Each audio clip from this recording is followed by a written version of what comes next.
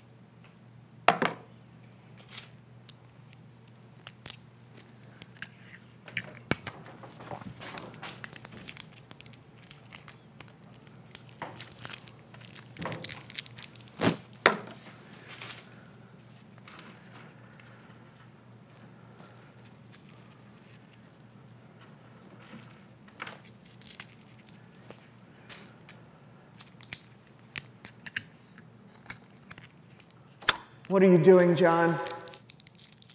Oh, packing peanuts.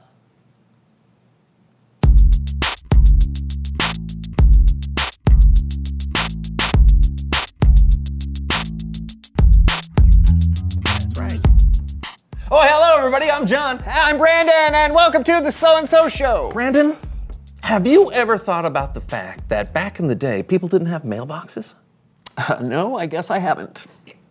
Can you I mean, imagine having to go to the post office to pick up your mail? Honestly, I only get emails nowadays. Yeah, see, see, see, even further development. And to think people used to have to get their mail delivered by ponies. What?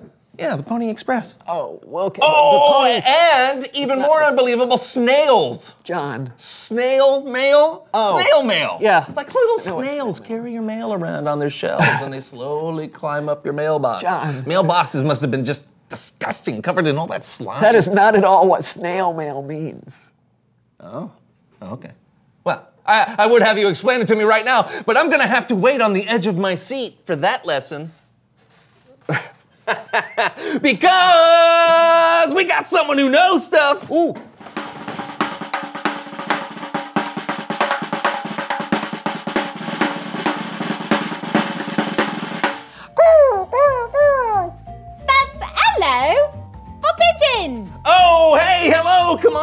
Have a seat, please. Have a seat. Have a seat. Wow, I, I love your outfit. Yeah. Well, pigeons are some of God's most beautiful creatures. Oh, yeah? Well, I usually think of uh, elk or butterflies as beautiful. It's quite the range. But yeah, I guess pigeons can be classified as that. Well, I'd say so.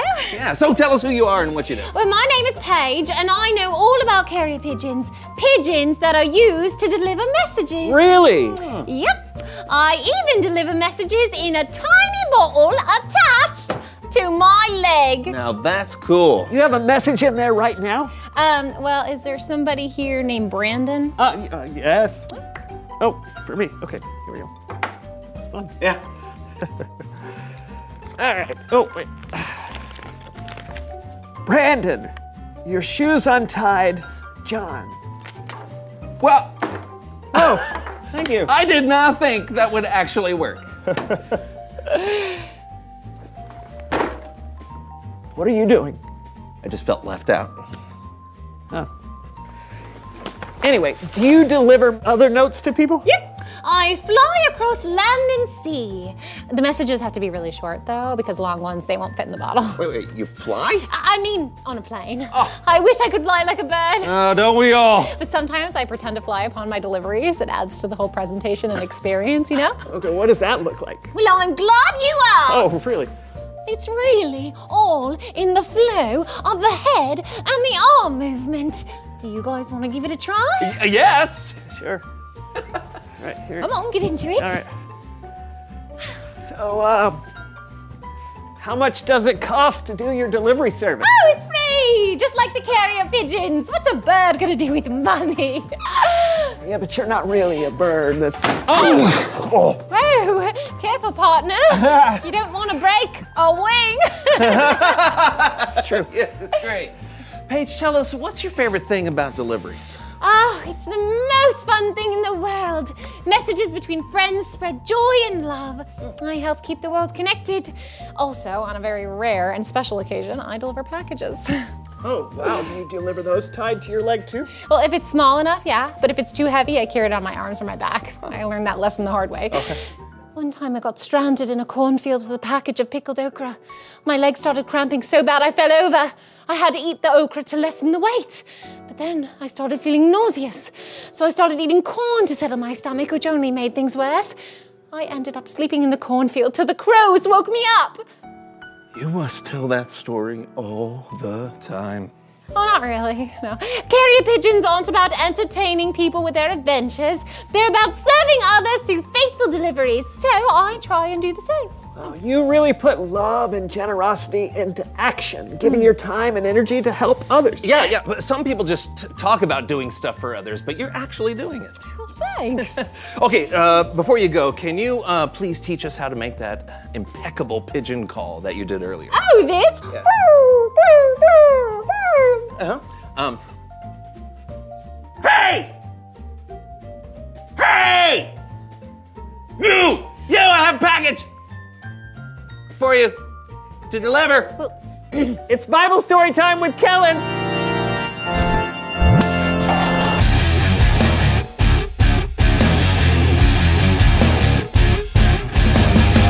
Howdy, fellas. Howdy to you. How's it going today? Great. Uh, learning all about carrier pigeons and generosity. That is an interesting combination, but I like it.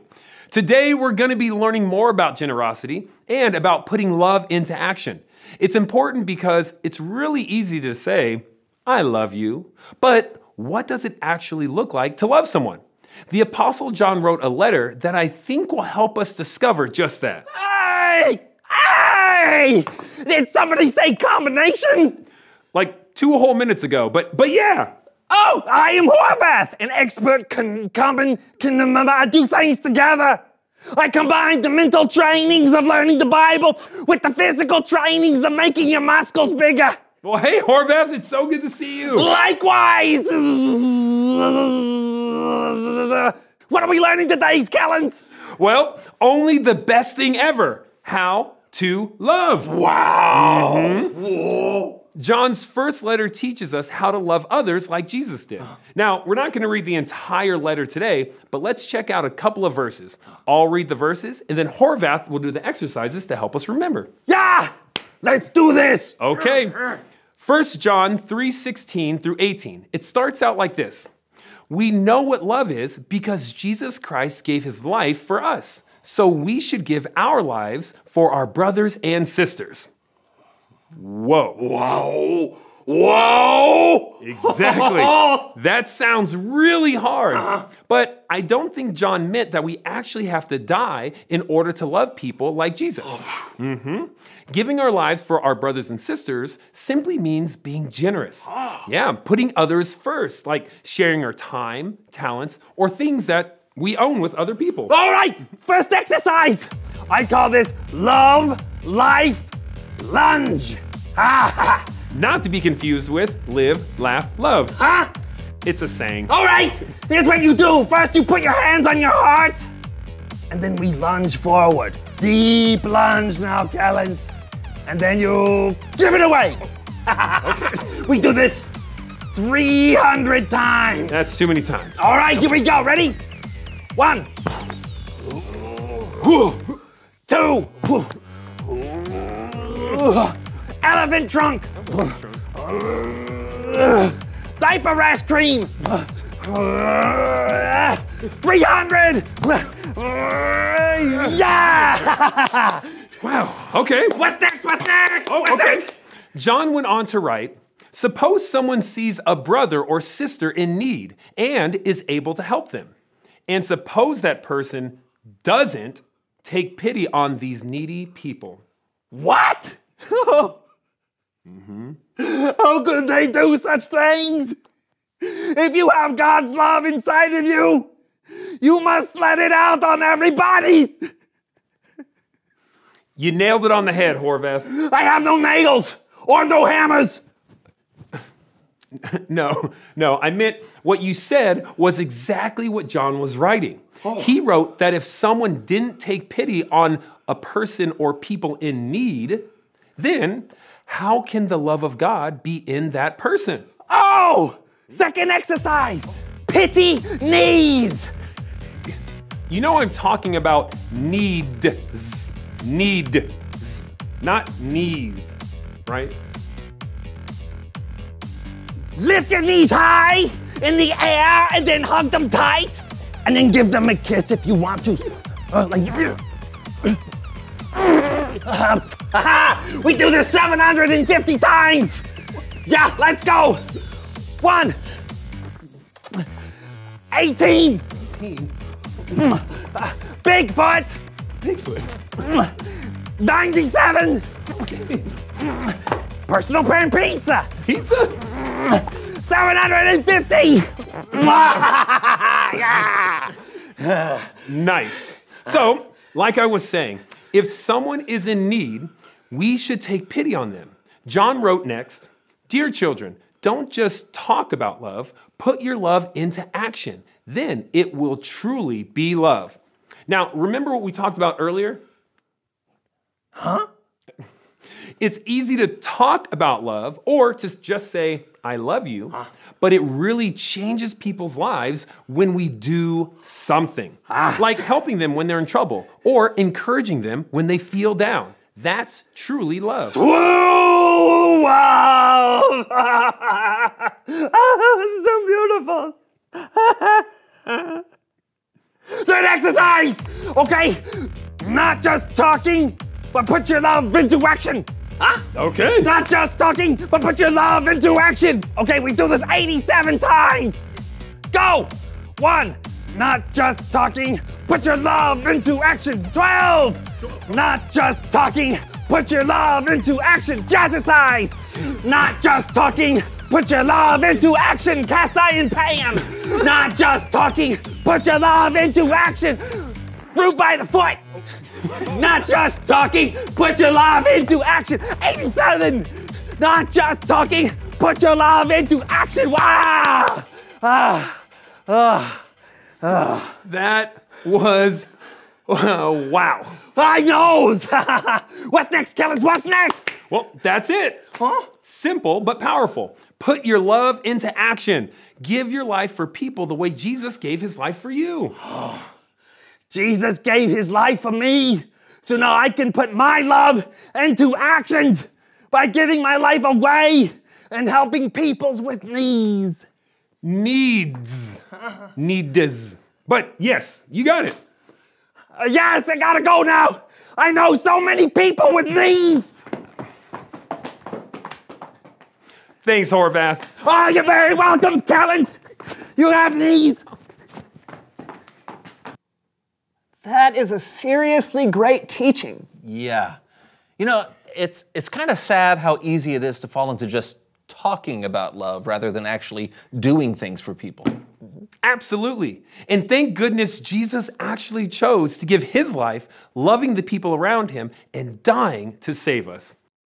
That's beautiful. Thanks, Kellen. Anytime. Bye. See ya. Wow. Jesus really showed us how to give. Yeah, he's the he's the most generous person ever. He's mm-hmm. the perfect example for us. Yeah. You know, it makes me want to think about the people in my life who have followed his example. Oh, me too. So, reveal the question. Oh, when has someone been generous to you? Yeah, yeah. Obviously, Jesus was super generous to all of us.